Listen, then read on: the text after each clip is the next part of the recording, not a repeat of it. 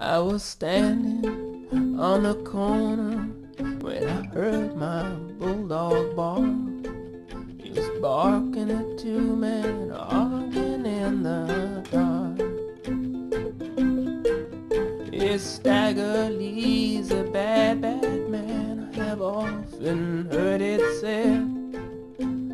Billy de Lyon stole a hat right off